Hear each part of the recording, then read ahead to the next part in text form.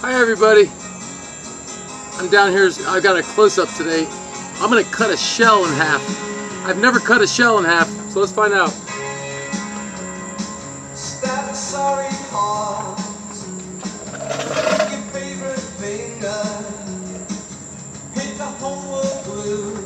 All right. Here we go.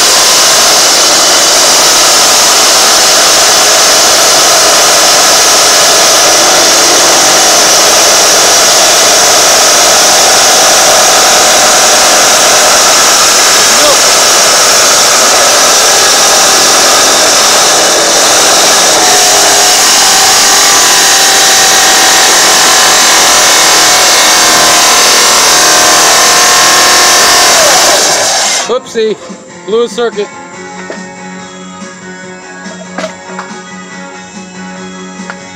Be right back.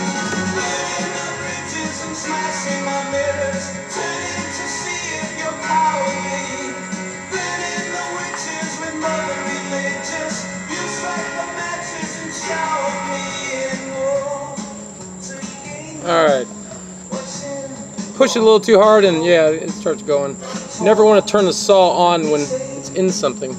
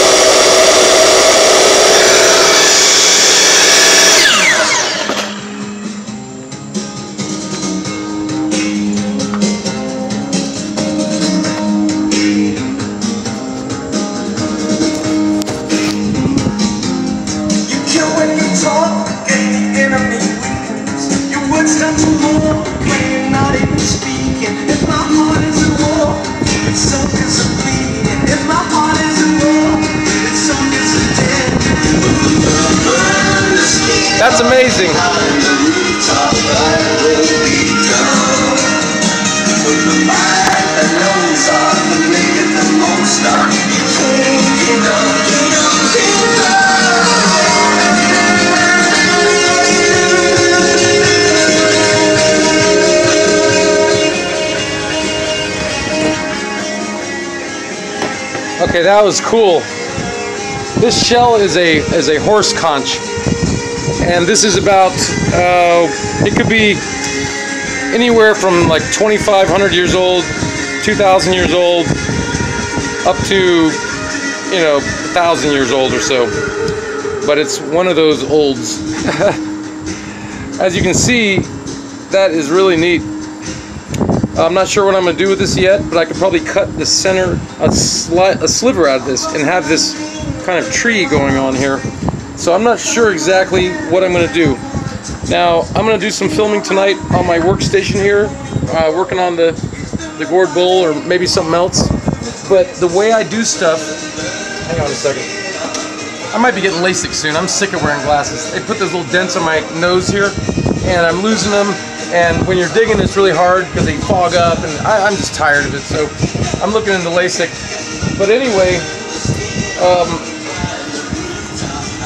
this shell right here is I sacrifice. It's a nice one, really nice. I mean, for one thing, these don't get this large anymore.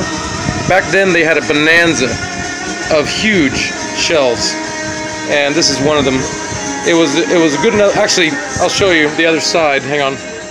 The reason why I cut it, it wasn't completely full, and the other side is going to be just as interesting as the big side. Let's see what's going on here. Yeah, that's cool. Now, see this middle part is called the columella. This is the part they would make the pendants out of, the plummets. And you see this scooper right here? If you took this middle part out, that would be a little scooper, and I found them with a scooper and a long columella handle or a bigger scooper like the inside of this part. But the chambers, uh, this chamber right here was used for dippers, uh, for, for water or whatever you want to uh, do. They loved horseshoes. Now, yeah, they were special to them, the horseshoe, I mean, excuse me, the horse conch. What I'll probably do is, you can see I'll remove this right here, this line, and that's what they would have done to make a dip, a really nice dipper. You can see the dipper in there. That's what sculptors do. You look at something and you see what needs to go. And so I'm a sculptor and, and uh, I make it go. So I'm going to make it go. Um, I make a lot of things. Uh, it depends on what I'm feeling. I have like a, I've always called it a, a roulette wheel of hobbies.